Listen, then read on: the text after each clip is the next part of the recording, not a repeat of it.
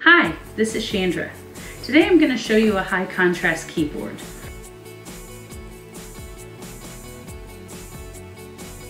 An unboxing isn't very spectacular for a keyboard because all there is inside is a keyboard. All right, so you can see this is a wired keyboard with a USB end. This is a Keys U See keyboard by AbleNet. You can buy this on the AbleNet website or you can buy this on Amazon and eBay and a variety of other websites.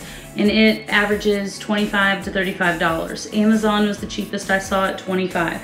So what is great about a high contrast keyboard is obviously with the black letters on yellow background that, you know, the letters pop, it's a little easier to see. Now their website boasts that these letters on the keys are three times larger than a standard keyboard. Now, they're not filling up more keyboard space, they're thicker.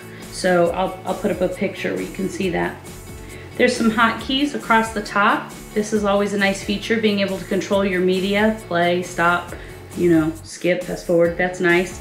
Quick volume buttons. Here's a button for sleep, put your computer in sleep mode. A hotkey for favorites to bookmark favorite websites A search feature, launch your email, and a home key.